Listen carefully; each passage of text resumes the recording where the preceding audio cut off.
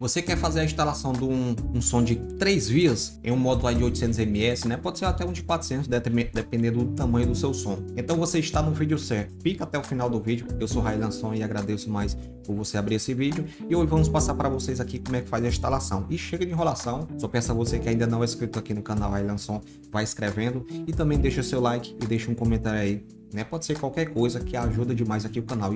E vamos lá, vamos lá que eu quero é passar para vocês aqui esse conhecimento. E é o seguinte, gente, né? Vamos fazer de conta, né, que vamos ligar aqui no modo de 800 RMS, né? Só deixando claro, né, se, por exemplo, você usar o falando de 150 RMS, né, não precisa um modo de 800. Se um de 400 RMS é a mesma coisa, é a mesma ligação aqui, né, que eu estou passando para vocês. Tem até vários vídeos aqui relacionados a essa ligação, que é a mesma coisa aqui, né? Se no vídeo de 400 RMS daqui é tudo a mesma mesma coisa. Então vamos lá. Está aqui o modo, né? Passar para vocês aqui como é que faz. Esse aqui é o positivo, né? Você liga o fio positivo na sua bateria ou na sua fonte, né? Ou os dois se você tiver. O fio negativo, né? Que eu vou deixar aqui no preto. E aqui tem um remote, viu? Tem um remote.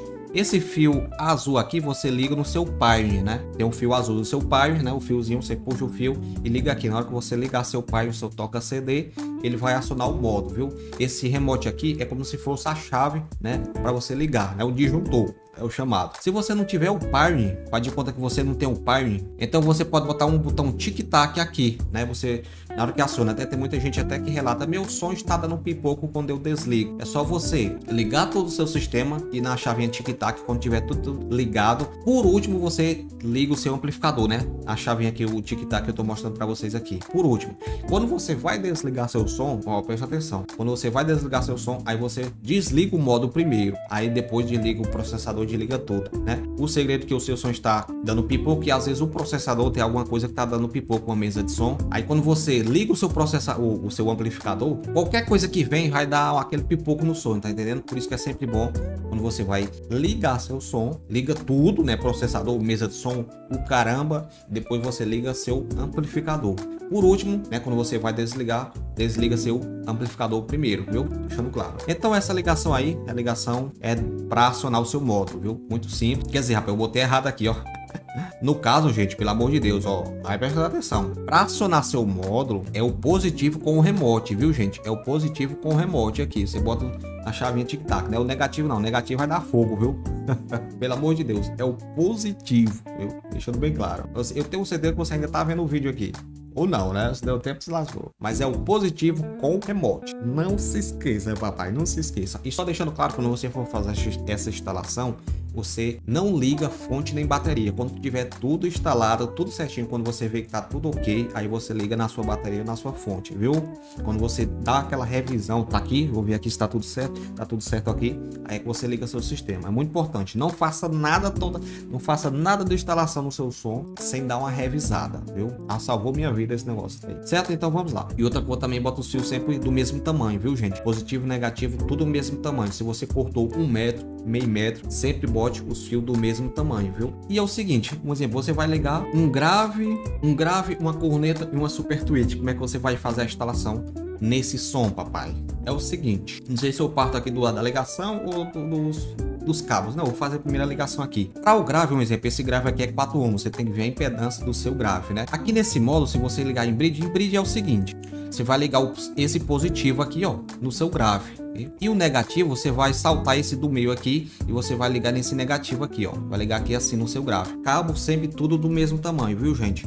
Esse aqui é o chamado bridge aqui que eu estou mostrando aqui na tela, né? Se você ligar diferente assim, não vai aproveitar o bridge. Para um grave, né, como eu disse para vocês, um sistema de três dias, é essa ligação aqui, viu? Se você tiver portas, né, aí já é outra ligação, mas tem até vídeos aqui no canal relacionado a isso. A sua corneta, gente, um exemplo, você vai ligar no canal 3, né? Aqui é diferente já. Sua corneta, né, de um ou de duas, você vai ligar esse positivo aqui, ó, positivo aqui. O negativo você vai ligar bem no meio, aqui é já diferente a ligação, ó. Vai ligar bem no meio para sua corneta, deixando bem claro isso, viu? A sua super tweet, aqui você pode ver como é o maisinho dela, né? Aqui do módulo você vai pegar o fio positivo, né? Não tem erro, né? Esse vídeo aqui é para quem está chegando no automotivo, né? É bem detalhadamente. E esse negativo aqui, você vai ligar na sua Super Twitch, né? Ou a sua TI, viu? Essa ligação aqui, se você não entender alguma coisa, volta o vídeo que tá bem mastigadinho, vai tá bem coisadinho para você, viu? Essa ligação aqui que vamos fazer. É, aqui fica o canal individual, né? Também tem a ligação, que acho que até a melhor, né? Para esse sistema para quem não tem processador, viu, gente? Eu, eu tô mostrando aqui para você para quem não tem processador nessa ligação aqui, ó. Se você não tem processador, você pode botar capacitor, né? Que aqui é outra ligação. O que, é que você vai fazer? Você vai pegar o fio positivo aqui, é para quem tem capacitor, viu? Tem até vídeos relacionados para é, para quem tem capacitor, você vai pegar o fio positivo da sua corneta, você vai pegar o outro fio positivo da sua corneta, é ligação em bridge, né? Pega o fio positivo também bota no mais aqui, você vai ligar em bridge. Assim casa a impedância, entendeu, gente? Aí você pega o fio negativo da sua corneta, liga aqui no bridge, né? No negativo aqui e pega o negativo aqui da sua super twitch e liga aqui no negativo, viu gente? Assim fica até melhor, né? Aí tem a questão de você tem que usar o capacitor. Vou deixar aqui na tela da corneta e vou deixar o capacitor da, da Super Twitter, né? Que você pode colocar na Super Twitter aqui, vou deixar aqui na tela, viu gente? É isso aí. Tem até vídeo, né? Tem até vídeo aqui qual é, capacitor relacionado a isso aqui no canal, viu gente? Essa ligação aqui você aproveita do vídeo, aproveita 100%. Cada canal vai mandar 400 ms, entendeu? Esse grave aqui é 600 e pouco, acho pouco né? Como ele manda 200, é, quer dizer, 400 ms para cada canal, o de desse modo aqui de 800 ms, então era bom se você botar um grave de 300, né, de 200 ms, mas se você tiver um modo aí quer dizer, o grave de 400 ms também dá certo, viu? Essa ligação aqui. Só lembrando que você tem que botar capacitor aqui na sua Super Twitch e o capacitor aqui na sua corneta, deixando bem claro quando você faz essa ligação. Vamos passar para o cabo RCA agora. Já aqui no cabo RCA, como, como ligamos desse jeito aqui, você tem que ver qual é a ligação que você fez. Ó, eu botei no 1 e 2, né? O canal 1 e 2, botei o grave, né? Aí você tem que ver qual é o canal. E aqui você tem que botar um cabo Y, viu, gente? Tem que botar um cabo Y, né? que é os dois, as pontas, né? O cabo Y eu vou deixar aqui também na tela. E as duas pontas macho e tem uma fêmea aqui, né? Na ponta. Né? E aqui do outro lado você vai fazer do mesmo jeito, né? Que é um tipo um, a ligação aqui para você fazer, viu, gente? E daqui você vai ligar nos seus modos. Se eu não me engano, o no play é estéreo. Quando você faz aqui, você corre o estéreo, né? Por isso que tem aquela outra ligação de você ligar é, essa, essa ponta aqui daqui para cá, né? Até vídeos aqui no canal como é que liga um cabo RCA a forma correta, né? Você fazer uma caixa trio. Então, desse jeito aqui não vai, vai como se diz, o play, né? Faz de conta que aqui é seu play. Aí ele tem dois cabos aqui. Se você você vai, você vai ligar tipo um aqui, outro aqui. Então, vai tipo batar, não vai, vai ter o estéreo, vai ficar estranho, né? Que o grave vai tocar um lado por causa do outro. Então, eu vou até desenhar aqui para vocês aqui, ó. Faz de conta que aqui é os dois RCA do seu do seu toca CD, né? Que é os dois RCA. Aí você bota um cabo Y aqui, né?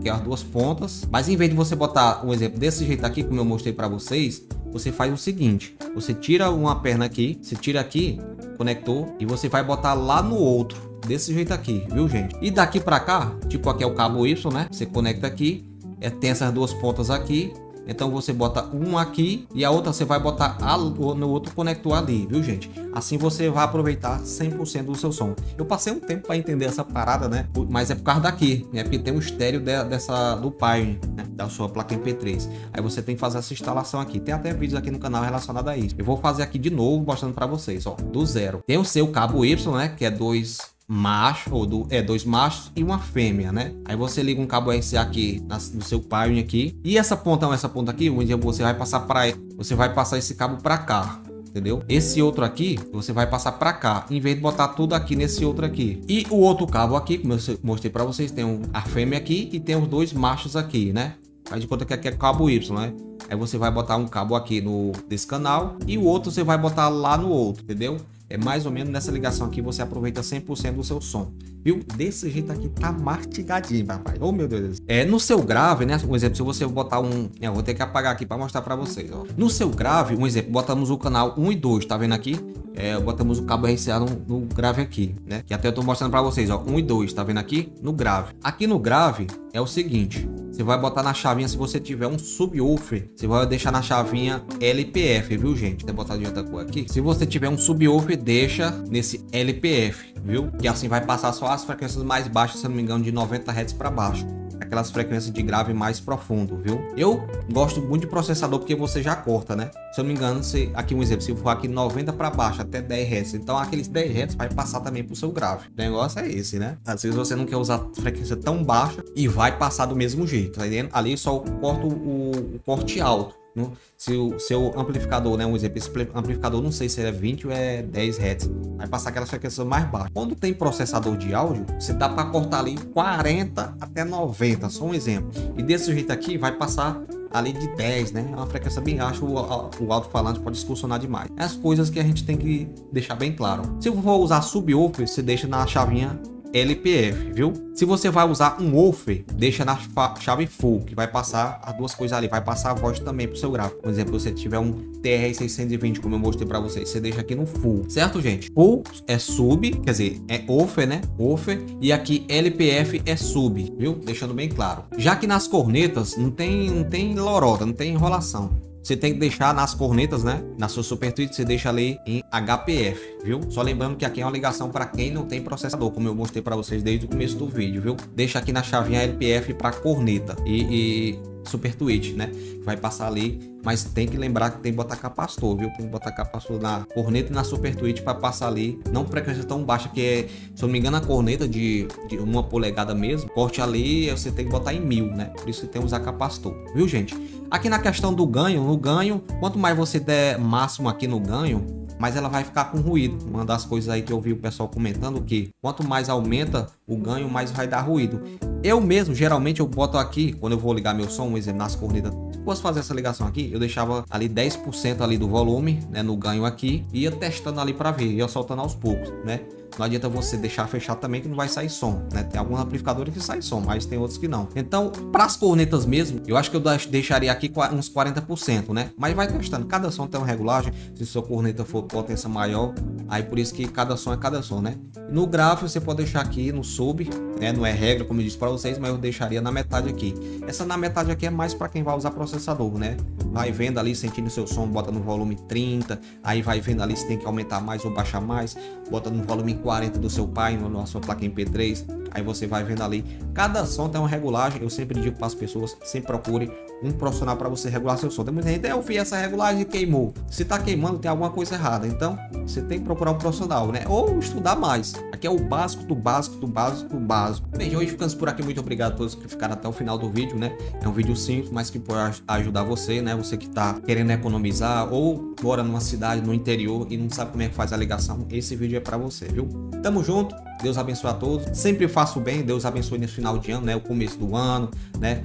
Dependendo do tempo que você esteja vendo esse vídeo, sempre faça o bem que o bem volta até você. Quando você pensa mal de alguém, eu quero que fulano se lasque, isso volta para você, viu? Por isso que sempre penso bem, não é fácil, né? É, às vezes a gente tem raiva de alguém, mas sempre tente perdoar as pessoas, porque esse perdão volta para você. É uma energia, tudo é energia, gente. Se você faz o bem, volta para você. Se você faz o mal, volta para você. É como se fosse você querendo atirar alguém, você mas você atira em você mesmo. Então, sempre faça o bem, faça coisas boas. Ótimo final de ano, ótimas festas. Deus abençoe a todos e proteja tudo que for ruim. Tamo junto.